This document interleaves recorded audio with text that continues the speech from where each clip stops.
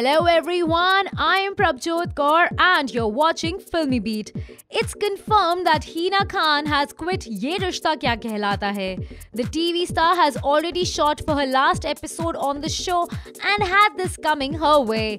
While Akshara fans will be disappointed with her death on the show, I've got some news that might get you excited as I am. I hear that Hina has quit the show only to be a part of Salman Khan's Bigg Boss 10.